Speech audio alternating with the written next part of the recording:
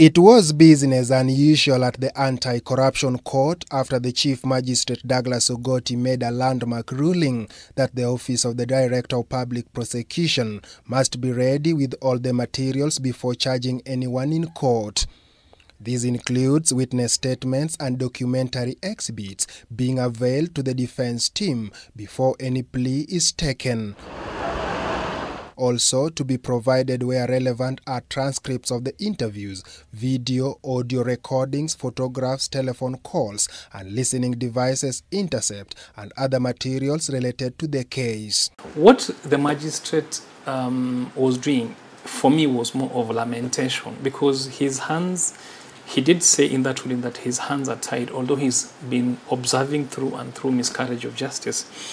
In that a person is hurriedly arraigned to court and is cowed in the process, is given conditions, bond conditions by the court.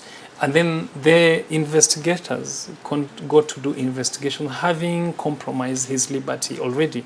This comes in the backdrop of Nairobi Governor Mike Sonko's case with 16 others, whose plea in the matter was taken on the 26th of February 2020, and not much progress has been posted.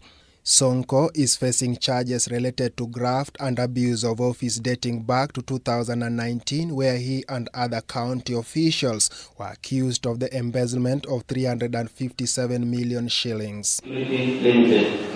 On January 27, 2020, lawyer Harrison Kinyanjui representing Sonko told the court that the prosecution was taking advantage of the High Court matter on disclosure and was delaying the criminal case facing Sonko. This led to the court granting the DPP two weeks to disclose the evidence in the case filed against Sonko. So if you're taken to court for plea, you must the evidence must be complete and evidence must be served. And that makes sense in the sense that for economic crimes investigated by EACC, the file is forwarded for adoption and um, and the DPP has to assent to the charges being preferred.